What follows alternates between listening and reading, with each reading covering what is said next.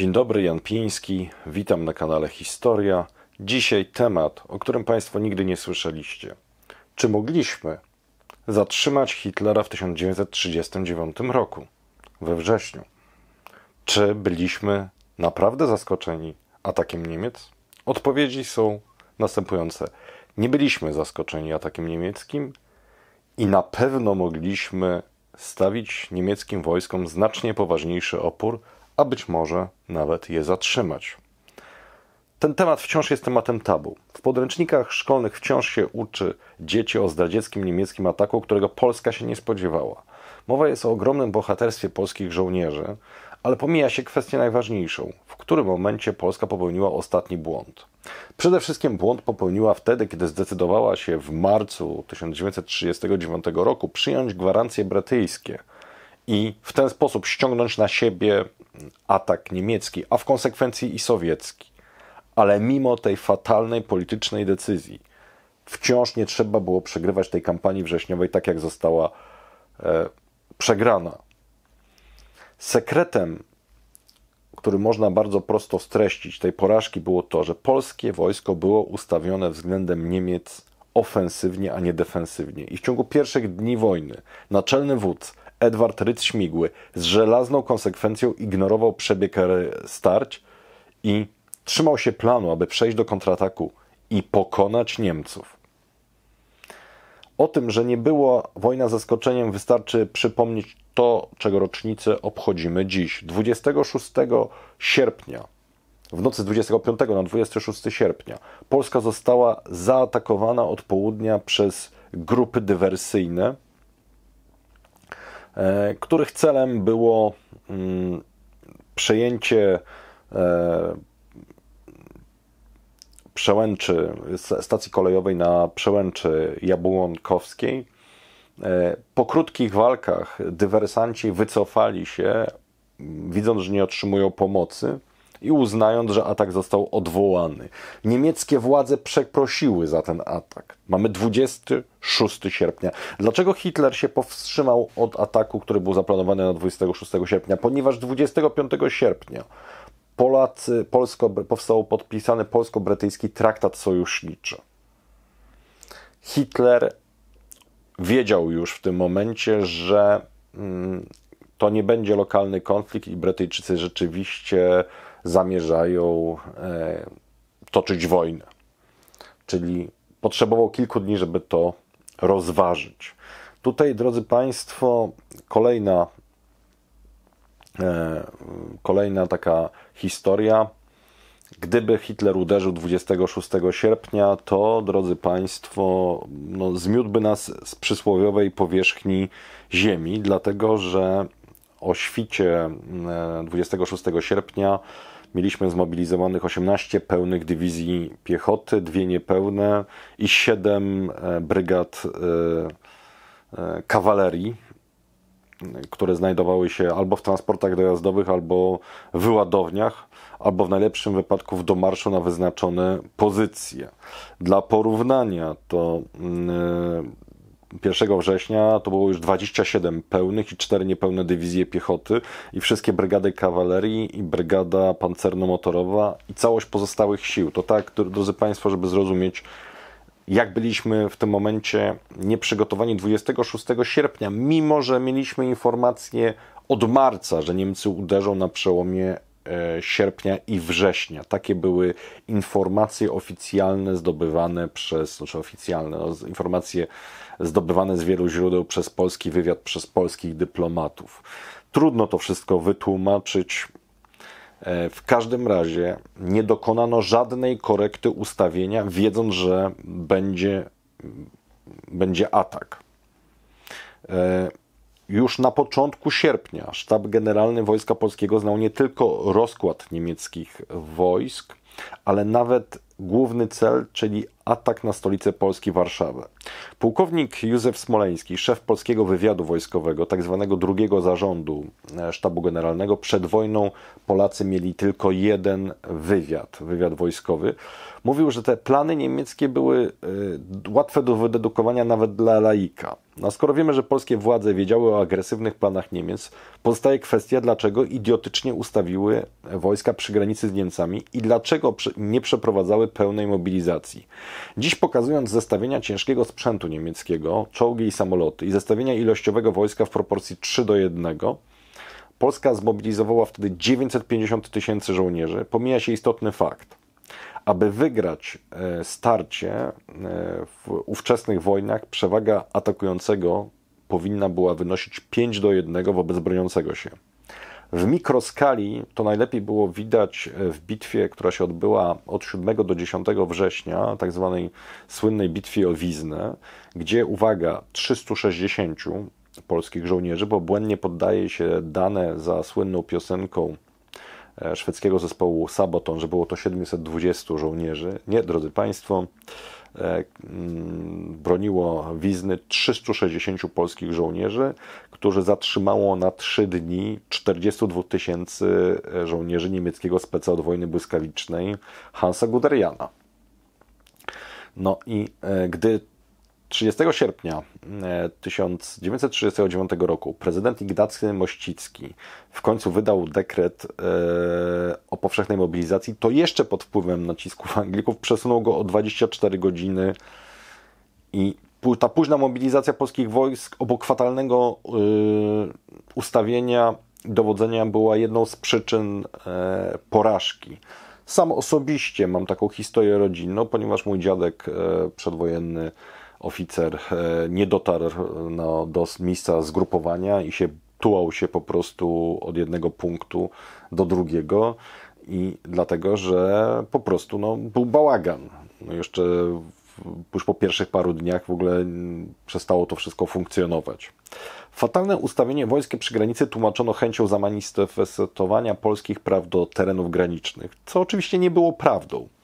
Zamiarem tutaj Pozwolę sobie zacytować teraz e, Grzegorza Górskiego w znakomitej pracy wrzesień 1939, Nowe Spojrzenie, Wydawnictwo Naukowe Jagiellońskie. Zamiarem polskiego dowództwa w kampanii wrześniowej nie była bynajmniej obrona i walka o czas. Wojsko polskie dysponowało wszelkimi możliwościami, by skutecznie bronić mającej z tego punktu widzenia doskonałe właściwości głównej pozycji obronnej. Uwarunkowania naturalne tej linii na zdecydowanej większości jej długości w połączeniu ze słabością stanu polskich dróg, co skutecznie ograniczało wartość niemieckich sił pancerno-motorowych, zwłaszcza w warunkach ówczesnej suszy i zwłaszcza siłą ognia armii polskiej dawało mimo wszystko znakomite warunki do skutecznej walki. To jest właśnie tyle Grzegorz Górski. Tyle, że polska armia bynajmniej nie zamierzała się bronić i to jest główny clue, które Państwu dzisiaj mówię.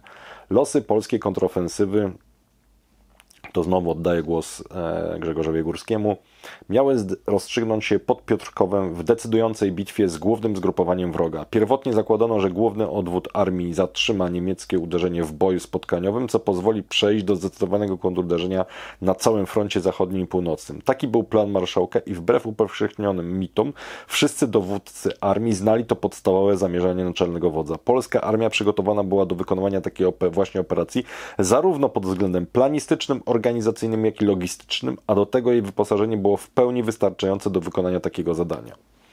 I teraz znowu Państwu muszę e, zrobić dygresję, żebyście Państwo zrozumieli, jak wyglądały wojny 83 lata temu. Aby zrozumieć różnicę między skutecznością prowadzenia wojny obronnej a walką dynamiczną, warto mm, przyjrzeć się starciu, które miało miejsce e, kilka miesięcy po wojnie obronnej Polski. 30 listopada 1939 roku Sowieci napadli Finlandię, atakując, uwaga, 1,2 miliona żołnierzy.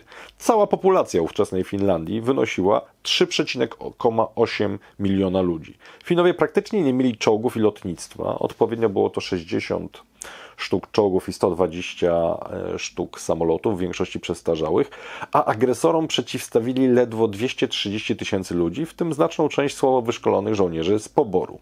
Mimo takiej potwornej dysproporcji, to jest właśnie no ponad to 1 do 5, Finowie zadali Sowietom potworne straty. Według oficjalnych, znacznie zaniżonych strat sowieckich, oni stracili w pierwszych trzy miesiącach wojny 126,8 tysiąca zabitych i zaginionych i 188,6 tysiąca rannych. Zniszczyli 2268 czołgów i pojazdów opancerzonych i zestrzelili 934 samoloty. Wojna dla Finów skończyła się utratą około 10% terytorium, ale kraj ten obronił niezależność i pokazał wówczas, że słynna sowiecka maszyna wojskowa jest przysłowiowym kolosem na glinianych nogach. W porównaniu do Finlandii stawiającej opór Sowietom, Polska miała znacznie lepsze szanse w starciu z Niemcami. Problemem to, że nie było wśród ludzi kadry dowodzącej wojsku polskim ludzi, którzy rozumieli przebieg nowoczesnej wojny. Sanacja, która rządziła krajem od 13 lat, skutecznie wyeliminowała mm, skutecznie wyeliminowała najbardziej wybitnych dowódców, czasami nawet fizycznie, jak w wypadku generała Tadeusza Rozwadowskiego czy e, generała Zagórskiego. W głośnym e, serialu Czarnobyl, najlepiej ocenianym przez widzów międzynarodowego portalu imdb.com serialu na świecie, moim zdaniem w sposób zasłużony, jest pokazana sekwencja wydarzeń i kompetencji, która doprowadziła w 1986 roku do e, gigantycznej katastrofy. I podobnie można było pokazać polską ścieżkę do klęski we wrześniu 1939 roku, wychodząc od wyrażenia zgody i wzięcia udziału e, na rozbiór Czechosłowacji w 1938 roku, co doprowadziło do znacznie pogorszenia polskiej sytuacji. Przede wszystkim wydłużyło nam granice do obrony, a po drugie pozwoliło Niemcom przejąć nowoczesne e, fabryki zbrojne Czechosłowacji, a nawet sprzęt czechosłowackiej armii. Od tego momentu tak naprawdę z punktu widzenia e, logicznego Polska już nie miała szansy prowadzić żadnej wojny z Hitlerem. Hitler chciał, zresztą parcie do konfliktu z Niemcami przez przyjęcie brytyjskich i francuskich gwarancji było idiotyczne, bo Hitler chciał najpierw zaatakować Francję i to nie było w polskim interesie, żeby nadstawić kark za Francję i pozwolić, yy, a po, po, prostu krótko mówiąc, pozwolić wejść pod okupację, stracić, yy, po prostu pozwolić się zniszczyć, tylko i wyłącznie po to, żeby yy, Niemcy nie wyrównali sobie porachunków z Francją. E, tylko wobec agresywnej polityki polskiej właśnie przyjęcia tych gwarancji, ogłoszenia mobilizacji przez Polaków w marcu 1939 roku, Hitler zdecydował się uderzyć najpierw na Polskę. Paradoksalnie błędy te mogły Polakom ujść na sucho. Problemem było bezmyślne przywiązanie rydza śmigłego do planów kontrofensywy, połączone z brakiem jakiegokolwiek planu B. E, 3-4 września, kiedy w sztabie naczelnego wodza istniała już świadomość, że armie Modlin, Toruń i Łódź nie będą w stanie wykonać postawionych i zadań ofensywnych, ciągle zwlekano z korektą zadań dla armii Poznań e, i samodzielnej grupy operacyjnej Narew. Na północnym obszarze działań grupy Narew oraz Wyszków y, otrzymywały te grupy sprzeczne dyspozycje, chociaż ich skoncentrowanie użycia y, przeciwko skrzydłu i od pewnego momentu także tyłom całkowicie odkrytej trzeciej armii niemieckiej mogło doprowadzić do zdecydowanego rozstrzygnięcia na korzyść polską. Y, jak zauważa wspomniany Górski, Sztab się ciągle wahał, bowiem nie pozbył się definitywnie wizji ataku na Prusy Wschodnie, co było od początku głównym zadaniem całego zgrupowania północnego Armii Polskiej. Tą lukę dostrzegł tylko i wyłącznie jeden z polskich generałów dowodzący armią Poznań, generał Tadeusz Kutrzeba. To on poprosił Rydza Śmigłego o zgodę na atak na całkowicie odsłonięte ósme skrzydło, znaczy na całkowicie odsłonięte skrzydło ósmej armii niemieckiej i gdyby taką dostał zgodę, to w najgorszym wypadku wygrałby czas dla polskiego wojska, aby przegrupowało się na pozycje obronne, czyli coś, czego polskie wojsko nie chciało robić od samego początku. A być może w ogóle zniszczyłoby armię niemieckie. To jest właśnie, drodzy Państwo, przyczyna e, klęski wrześniowej polskiej. To jest ten po prostu przywiązanie do idei ofensywy, w ogóle bardzo głupie ustawienie na samym początku i brak korekty ciągłe trwanie na pozycjach i liczenie na to, że jednak się uda tą ofensywę przeprowadzić. Nawet po fatalnym początku Polacy wciąż mogli zatrzymać Niemców. E, po pierwsze musieli utrzymać Warszawę z powodów strategicznych, e, a nie politycznych, chociaż morale społeczeństwa także ma znaczenie. Po drugie, front północny zatrzymać na Narwi lub przynajmniej na Bugu. Trzecim warunkiem obrony było zatrzymanie Niemców na południu na Sanie. To było realne, ale pogrzebano to między 6 a 10 września fatalnym brakiem dowodzenia i sensownego planu dla poszczególnych armii. Ten chaos był wynikiem idiotycznej decyzji marszałka Rydza Śmigłego o przeniesieniu centrum dowodzenia do Brześcia nad Bugiem. W efekcie płynące z tej kwatery rozkazy nie miały żadnego oparcia w sytuacji e, na froncie i potęgowały chaos. Krótko mówiąc, e, generał marszałek Edward Rydz Śmigły, sterując polskimi armiami, robił to kompletnie w ciemno. Scenariusz tego, że Hitler w 1939 roku nie pokonuje armii polskiej i jego ofensywa doznaje do załamania, był realny. E, to wówczas mogłoby doprowadzić do korekty tchórzliwego nastawienia Francuzów i Anglików. Po prostu warunkiem tego było, żeby polska armia była we wrześniu 1939 roku dobrze dowodzona, żeby przeprowadzono dobrze mobilizację. A wojsko powinno było być od początku ustawione do obrony, a nie do ataku. Wówczas Niemcy mieliby naprawdę poważne problemy. E, oczywiście no, w grę wchodzi jeszcze atak Sowietów, ale proszę zwrócić uwagę, że Sowieci zwlekali z atakiem do 17 września, czym doprowadzali Niemców do pasji. Dlaczego do 17 września? Bo czekali, czy Anglicy i Francuzi wykonają swoje zobowiązania. Gdyby skutecznie Polska zatrzymała Niemców, zapewne Stalin czekałby, aż obie strony wyczerpią się wzajemnie w walkach. Nie bez powodu Stalin nazywał Hitlera lodołamaczem światowej rewolucji. On uważał, że wojny, które rozpęta Hitler, umożliwią ogólnoświatową komunistyczną rewolucję. Dziś mało kto ma świadomość, że ta fatalnie zmobilizowana i źle dowodzona, albo odwrotnie, również fatalnie zarząd, dowodzona polska armia w 1939 roku była najsilniejszym polskim wojskiem, jakie kiedykolwiek dysponowała Polska. Mogła ona zatrzymać i pokonać tak Niemców, jak i Rosjan, ale oczywiście nie obu naraz. To, czego, dobrze, tego, czego brakowało tej armii, to brakowało jej po prostu dobrych planów i elastyczności w dowodzeniu. Po, po niepowodzeniu pierwszego tygodnia walk doszło do niezrozumiałego załamania nerwowego głównych mm, dowódców polskich wojsk. O klęsce zadecydował brak chłodnych głów.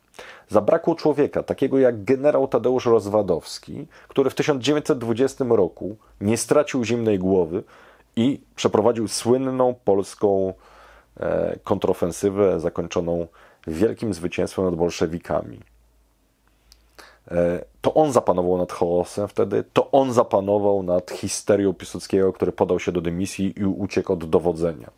W konfliktach zbrojnych obowiązuje zasada, że słabsza strona powinna się bronić i czekać na błędy przeciwnika.